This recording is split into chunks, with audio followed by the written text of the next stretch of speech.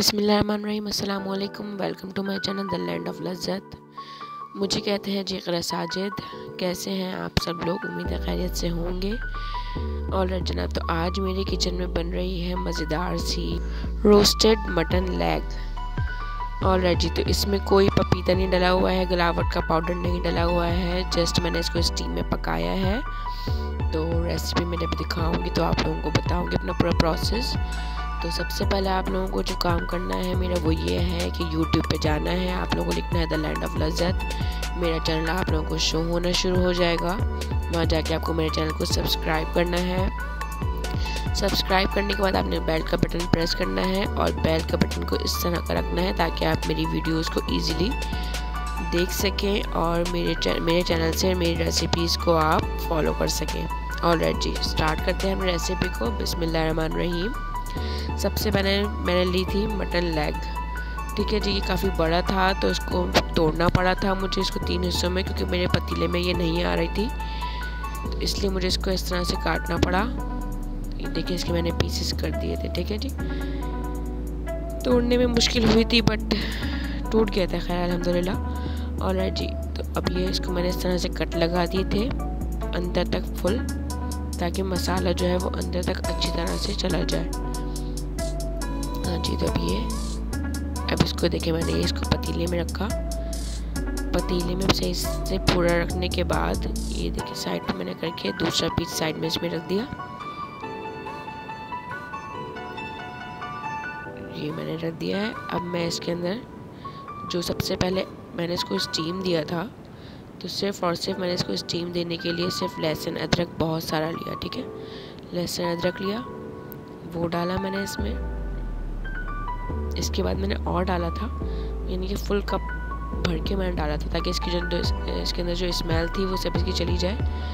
हीक होती है थोड़ी सी बकरे के गोश्त में तो वो ज़रा लहसुन, अदरक से ज़रा चली जाती है। अच्छा जी, अभी इसमें मैंने डाला सॉल्ट डाला, और बस मैंने इसमें डाला था सिरका। ठीक है? सिरका, नमक और लहसुन, अदरक डाल के मैंने इसको अच्छी तरह इसका मसाला लगा के मैंने इसको हल्की आँच पे पकाने के लिए रख दिया था। देखिए मैंने मसाले को अच्छी तरह से मिक्स कर दिया है, पलट के भी। सब लगा के मैंने कोई पानी वगैरह कुछ भी ऐड नहीं किया, ना ऑयल ऐड किया, कुछ भी। इस पॉइंट पे कुछ भी ऐड नहीं करना है जस्ट आपने ये मसाला वगैरह ये लगा के, देखिए मैंने स्टीम के लिए रखा था, अब देखिए ये। स्टीम होना शुरू हो गया है पानी देखिए साइडों में छूटना शुरू हो गया इसका कलर भी चेंज हो गया है। मैंने इसको और पकाने के लिए थोड़ी देर रख दिया था। इतने मैं इसका मसाला रेडी कर रही थी। मसाले में जो चीज़ें जाएँगी वो ये है। धनिया लिया था मैंने, ज़ीरा है और सौंफ है। ये तीनों चीज़ों को मैंने पहले भूना है। मैंने इसको अच्छे से भून के बहुत ज़्यादा डार्क ब्राउन नहीं, बहुत ज़्यादा डार्क मतलब वैसे भूनना नहीं कि जल जाए। गोल्डन ब्राउन सा हो जाएगा तो फिर इसको आप उसका स्टोव जो है, इसका जो आँच है वो बंद करके आप इसको कूट लीजिएगा। ये देखिए जी, मेरी जो लेग पीस है वो पूरा हड्डी पे से गोश्त अलग हो गया है। मैंने इसमें कुछ ऐड नहीं किया है। कोई गिलावट का पाउडर कोई पपीता ऐड नहीं किया है। ये देखिए गल चुका है, ठीक है? अच्छा जी, अब इसको मैं मसाला लगाऊँगी। मसाला लगाने के लिए जो जो मुझे चीज़ें चाहिए, वो है, ये सब चीज़ें। मैं दिखाती हूँ। ऑलरेडी ये है सब सामान। जो मसाले हैं मसालों में है जी, ये जो मैंने सौंफ, धनिया और ज़ीरा को मैंने भूना था, उसको मैंने कूट लिया है, ठीक है? ये है एक टिक्के का पैकेट ले लिया था मैंने, शान का ले लिया था और एक लिया था मैंने तंदूरी मसाले का पैकेट, ठीक है?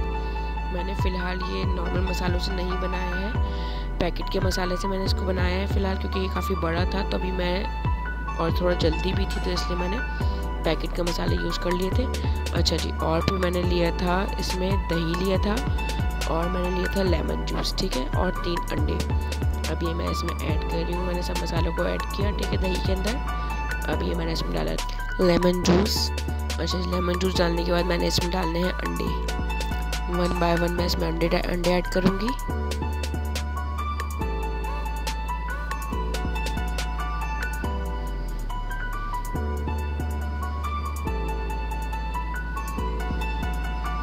ये मैंने इसमें अंडे तीनों ऐड कर दिए हैं। अंडे ऐड करने के बाद मैं इसमें डालूँगी थोड़ा सा सिरका।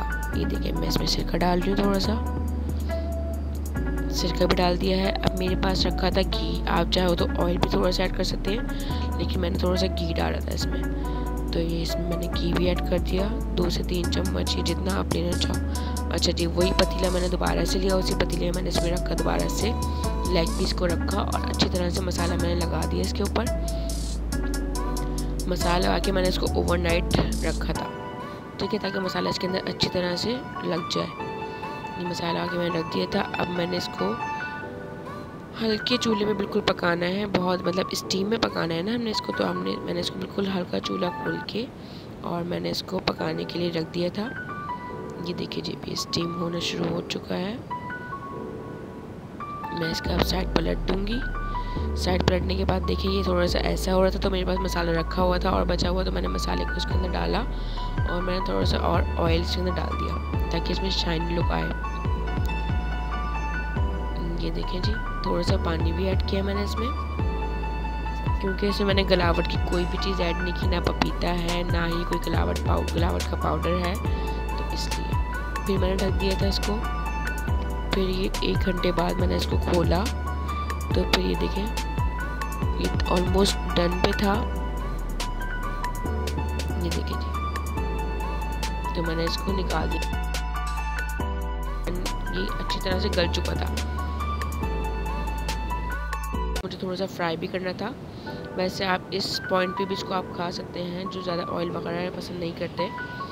तो ये देखें फुल गला हुआ है अलहमदिल्ला ये मसाला इसका बच गया था, इसको मैंने बाद में एक दफ़ा और इसको मैंने लगा के मसाले को मैंने फिर इसमें फ्राई किया था। ये देखिए जी, मैंने ये ऑयल ले लिया था ऑयल को मैंने गर्म करके जस्ट मैंने जो लेग पीस था उसको डाला है और डाल के बस एक मिनट के लिए सिर्फ़ इसको खाली गोल्डन ब्राउन किया है, मसाला लगा के और दोबारा से अच्छी तरह मसाला लग जाए इसमें। देख मैं इसमें लगा के दिखाती हूँ मसाला। इस तरह से मैंने और मसाला लगा दिया था।